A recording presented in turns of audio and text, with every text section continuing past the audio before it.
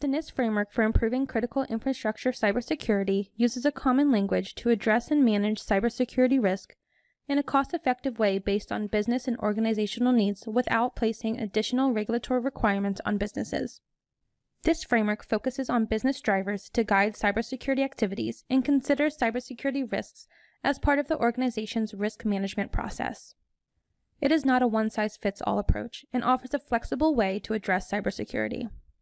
The framework enables organizations, regardless of size, degree of cybersecurity risk, or cybersecurity sophistication, to apply the principles and best practices of risk management to improving security and resilience. There are three parts that make up the framework. These include the framework core, the implementation tiers, and the framework profiles.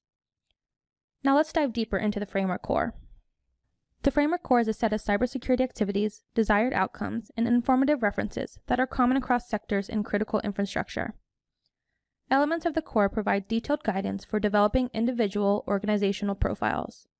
These elements are functions, categories, subcategories, and informative references. In this video, we will focus on the functions. There are five functions of the framework core. The first function is identify. Develop an organizational understanding to manage cybersecurity risks to systems, people, assets, data, and capabilities.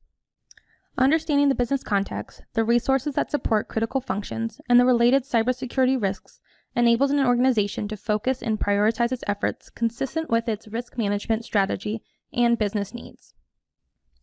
The second function is protect. Develop and implement appropriate safeguards to ensure delivery of critical services. This function supports the ability to limit or contain the impact of a potential cybersecurity event. The third function is detect. Develop and implement appropriate activities to identify the occurrence of a cybersecurity event.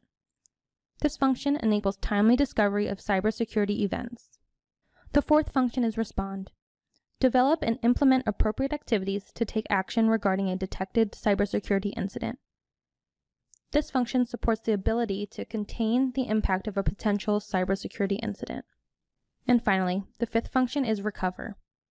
Develop and implement appropriate activities to maintain plans for resilience and to restore any capabilities or services that were impaired due to a cybersecurity incident.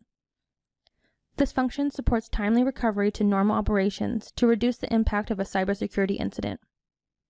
These five functions should be performed concurrently and continuously. When considered all together, they provide a high-level strategic view of the life cycle of an organization's management of cybersecurity risk. This video only touches on the key concepts of the NIST cybersecurity framework. For more information, please visit nist.gov/cyberframework. Thank you for watching.